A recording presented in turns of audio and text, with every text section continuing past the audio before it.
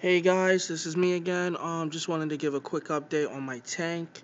As you can see, I moved the rocks around a bit, and things are looking a lot better than before.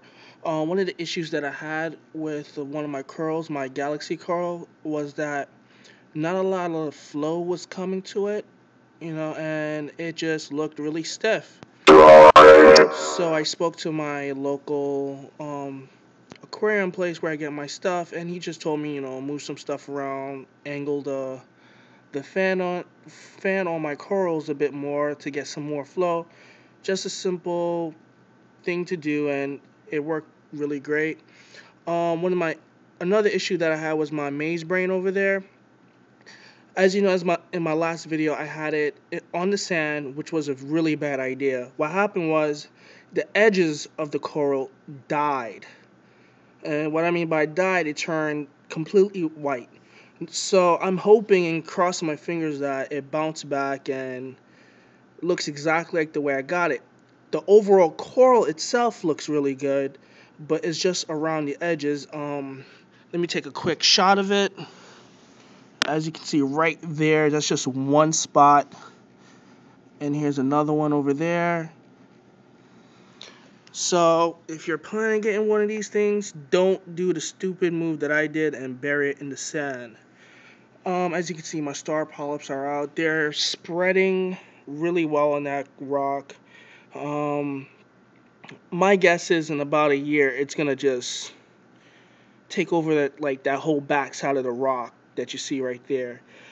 My finger leather is doing really good. Um, can't really say anything else. It's just it's loving the tank, the lighting, everything. Like I said, Oceanic did a really great job on this tank. I have almost zero issues with it except for the fact that they could have add, added like a holder for the top. I'm gonna show you what I mean in one sec. There's nothing supporting the lid up if you push it all the way up. The 14 gallon version of it has a way where you can tilt the top back, but th this one doesn't. You have to completely remove it if you want to get access to it, or just use the very small opening that they provide right here. Other than that, the tank, the tank itself is really awesome. Um, I'm really loving it. Um, everything's looking good. Um, the rock that you see most of my corals on, like my Galaxy and my brain maze. I had that in my last tank and it didn't have much color.